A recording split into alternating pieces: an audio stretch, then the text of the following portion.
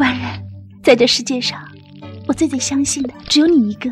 当有一些人问我这是不是籽料的时候，我才意识到大家对于籽料的迫切需求和对于籽料的认知匮乏，这两者之间的反差是多么的大。可以说，由于现在的这个关于和田玉的主流思想，导致大家啊总想买一块和田玉籽料，但同时大家其实并不认识籽料究竟是一个什么样的状态，所以这个时候就会产生各种各样的造假手段。就像我刚才手里面拿的这块料子来说，有的人问这个是不是一块籽料？其实通过这一点，我们就可以判断得出，问这个问题的人对于和田玉其实是一无所知的。这个在业内来说啊，是一个常识性的问题，这个不可能是一块籽料。大家仔细看这块东西啊，为什么说它不是和田玉籽料，是一眼得知的事儿？籽料根本不具备这种特性，籽料是有一些带糖的，但是非常少，而且籽料带糖大多数的特性根本就不是现在这个样子，大多数是一些比较深的啊，糖色还有点发灰，通常都带着很多的杂质，根本不会出现现在这么亮的颜色和这么好看的晕染过渡。根据我手里面这块料子的特性，目前为止只有两种料符合它的标准，一个就是我们新疆切末的糖白，一个就是俄料糖白。我手头这块呢就是俄料糖白。很多人说俄料干涩，大家看我手里面拿的这一块，它就是俄料，干涩吗？僵吗？是不是？我们近距离观察，这个没有毛孔，山料修行当然没有毛孔了。籽料的特征最明显的就是有毛孔。不管怎么样，大家可以看得到这块料的油性啊，已经是到达一个极高的标准了。我感觉它都快冒油了，这种感觉啊。咱们再看一块籽料啊，来，我们看看籽料的特征啊，很明显嘛，就是带毛孔，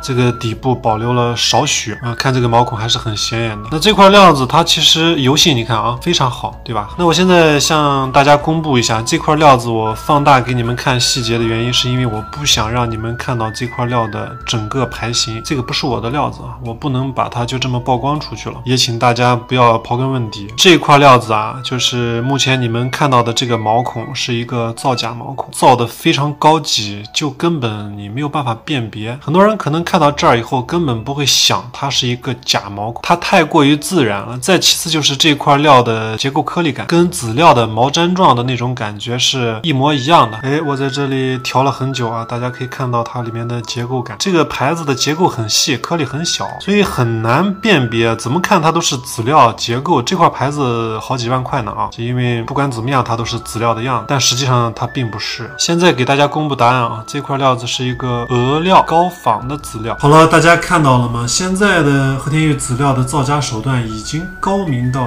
你可以以假乱真。我在想一个问题：我们喜欢某样东西的原因，是不是因为这样东西好？那除此之外，我想不到其他原因了。你看啊，问题就来了。那很多人想买一块籽料的原因，那肯定也是因为它好。但是把一块料放在他的面前，他并不知道这是什么料。你告诉他这是籽料，他就认为这个是。那好在哪里呢？其实大部分人根本说不出来它好在哪里。这个就非常有趣啊！大家的爱好好像被人左右了。他告诉你好，你就认为这是好。那你说这个好不好骗吗？这可以说一骗一个准的。关于和田玉籽料，一直以来的说辞就是它是正统，因为它产自和田，这个东西又以和田命名，所以它才是真正的所谓的玉。其他的都可以是旁门左道。在我读过的仅有的几本书里面，你完完全全可以找到咱们中国的玉文化形成根本不是基于和田玉籽料。和田玉这三个字只出现了一百多年，是清代才被命名的。在这之前，我们中国有好几千年的玉文化历史。那个时候，我们并不把它称之为和田玉，它有很多的名字，其中有一个名字叫做昆昆仑玉、昆岗之玉。大家有可能不知道，这个昆仑玉所指其实就是我们现在的青海料。什么是正统呢？一百多年和几千年相比较，哪一个更加厚重呢？还有就是我们的和氏璧，有很多说法，也算是众说纷纭。但是我个人比较认可有一个说法，我通过这些书本知识，呃，我觉得这个和氏璧其实所指的是就是一块翡翠，应该是一块非常美的翡翠。那翡翠产自缅甸，对吧？那国外的东西大家不认了吗？那现在的翡翠都是产自缅甸的呀，